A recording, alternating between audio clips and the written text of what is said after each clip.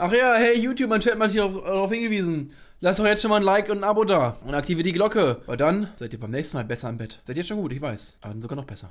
Habt ihr Bock auf eine Folge realer Irrsinn? Ich hab Bock. Ich hab sehr Bock. Folge heißt realer Irrsinn. Dortmunderin darf nicht nach Aurich ziehen. Hm, okay, bin gespannt. Wer ins schöne Ostfriesland ziehen will, hat im Moment ein Problem. Wie Frau Kropp aus Dortmund. Sie hat das Haus in Ledsdorf zwar gekauft, um hier als Rentnerin zu leben, doch so richtig willkommen fühlte sie sich beim Anmelden ihres neuen Wohnsitzes irgendwie nicht. Ich hatte eigentlich erwartet, dass das eine ganz normale Situation ist. Ich habe gesagt, ich möchte mich ummelden. Wie kann ich das jetzt in der Corona-Krise tun? Und dann sagte man mir, das geht jetzt gar nicht mehr. Nee, der Landrat Also ich bin ja auch während Corona umgezogen und das hier war jetzt nicht so das Problem. in Aurich hat nämlich eine spezielle Corona-Allgemeinverfügung erlassen. Das heißt für die Zweitwohnungsbesitzer, dass sie nach Hause fahren müssen und ihren Erstwohnsitz aufsuchen müssen. Okay. Und weil Frau Kropp ihren Erstwohnsitz in Ledsdorf nicht anmelden konnte, heißt es husch husch zurück nach Dortmund. Der Kreis Aurich will in Corona-Zeiten keine Neubürger, die die gute Ostfriesenluft wegatmen. Da hilft doch kein Jammern. Vor allem fucking aus Friesland. Wie viele Menschen wohnen da? 17? Wissen Sie eigentlich, in welche Situation Sie mich bringen? Mein Haus in Dortmund ist geräumt ähm, und ich äh, kann da nicht hin zurück. Das kann ja jeder sagen. Der Kreis Aurich will klare Beweise, dass Frau Kropp keinen zweiten Wohnsitz mehr hat.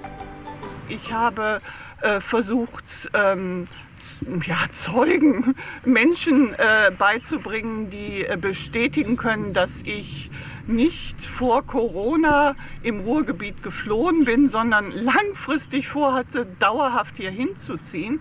Ähm, aber das reichte alles nicht. Und dann hatte ein Landkreismitarbeiter eine tolle Idee. Ah, Jetzt bin ich gespannt auf die Idee. Schieb doch einfach das Haus von Dortmund nach Aurich.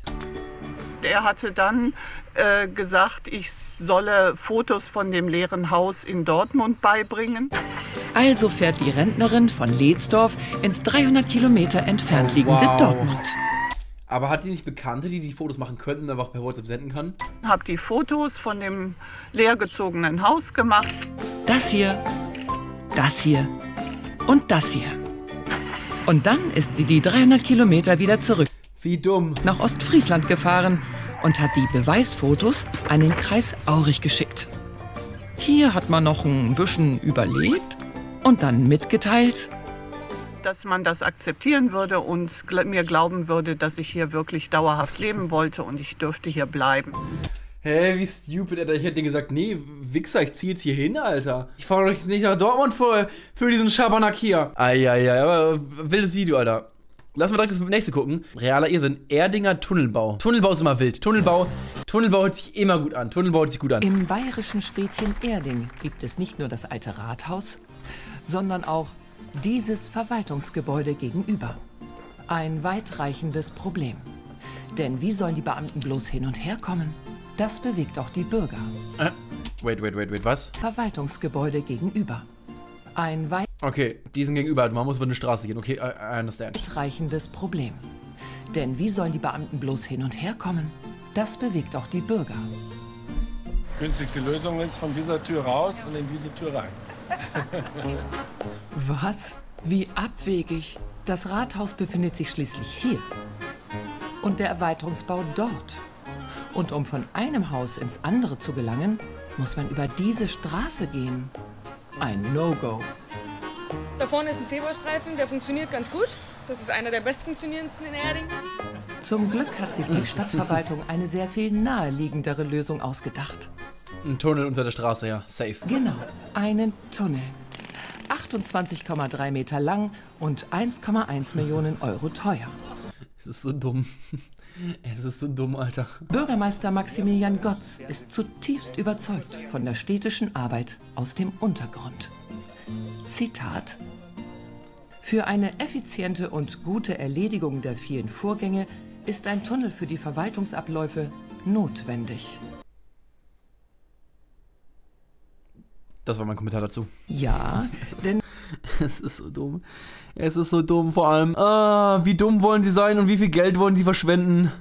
Ja. Nach Schätzungen des Bürgermeisters queren die Beamten angeblich bis zu 350 Mal täglich die Straße.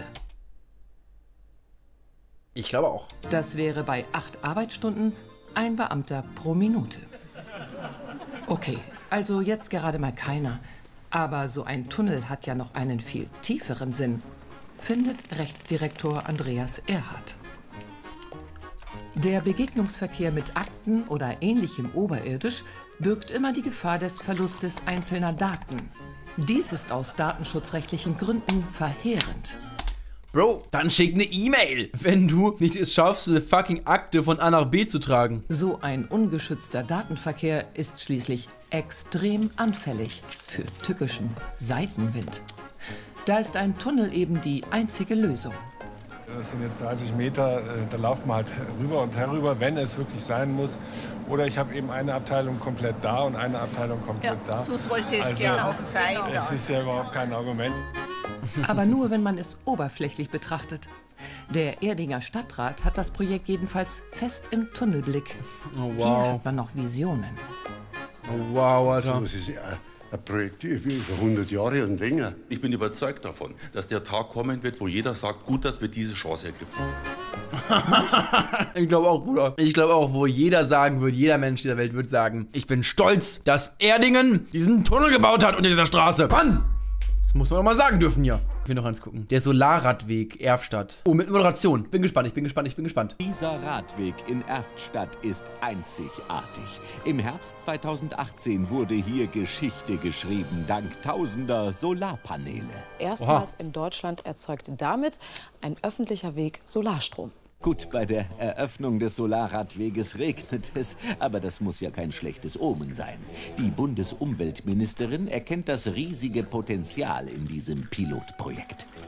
Das ist wirklich sehr äh, innovativ. Das ist ein ganz tolles Projekt und deswegen bin ich heute auch gerne hier. Auch im Regen. Es gibt auch viel Geld vom Umweltministerium. 150.000 Euro für 90 Meter Teststrecke. Hört sich erstmal ja nicht scheiße an, ne? Dieser Belag absorbiert auch ein bisschen den Schall. Wir können ihn erwärmen, um im Winter Schnee abzutauen. Gut, das mit dem Schneeabtauen klappt nicht so wirklich, aber Solarstrom erzeugt er auch eher Solar. La. Was? Macht er nicht? 12.000 Kilowattstunden im Jahr war das Ziel. Nach einem Vierteljahr sind immerhin schon 95 geschafft. 95 Kilowattstunden, aber. Hä? Da fehlen doch ein paar Nullen, oder? Wir haben das ja auch als Testanlage konzipiert und jetzt gesehen, dass wir die ersten Schäden haben.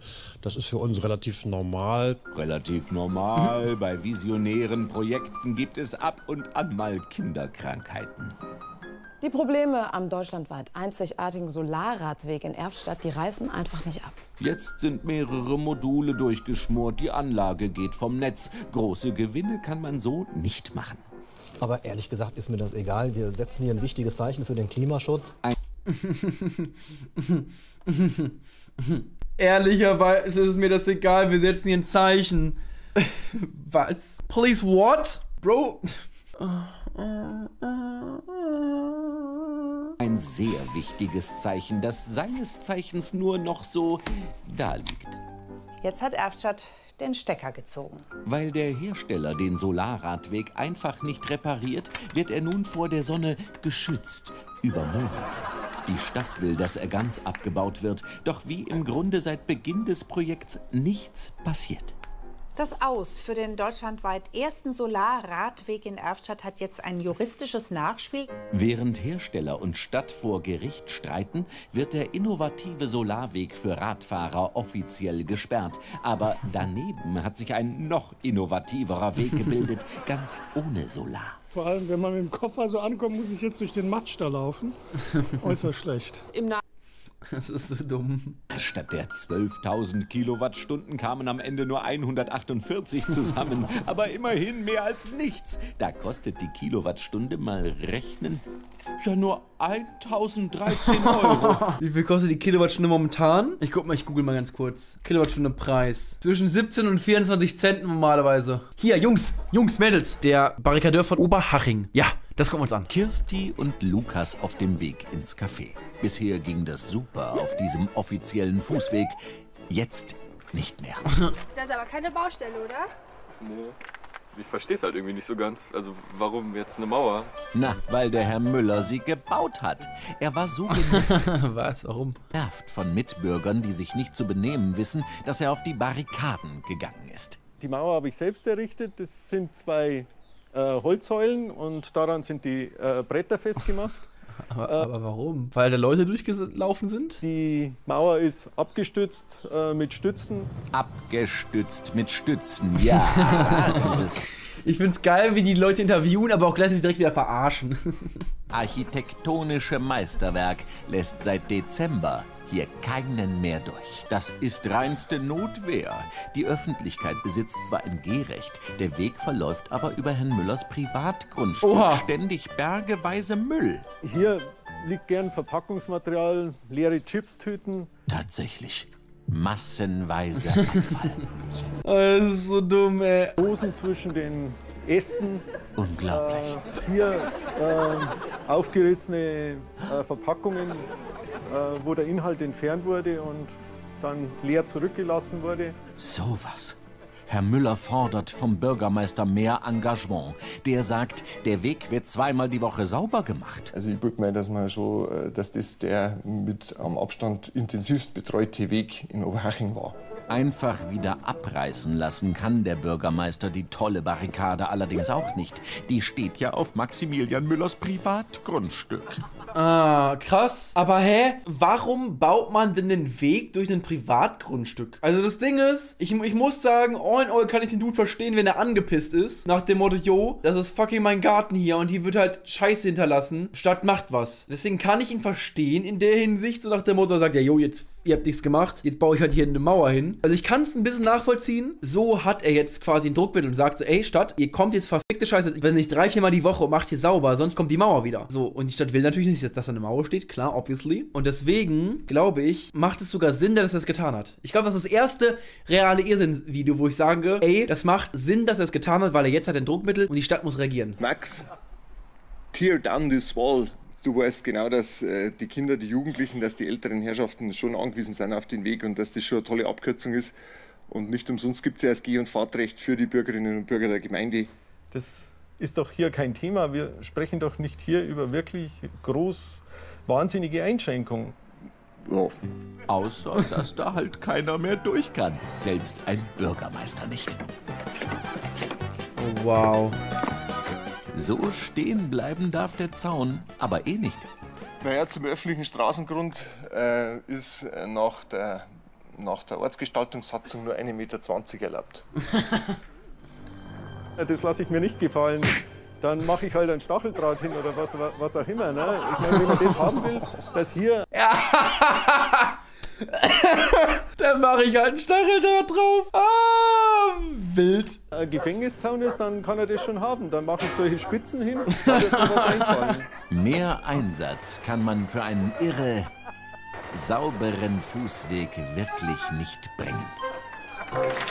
Digga, Monka S, ey. Wild, wild, wild. Hey, YouTube, lasst doch gerne ein Like da und schaut beim Stream vorbei.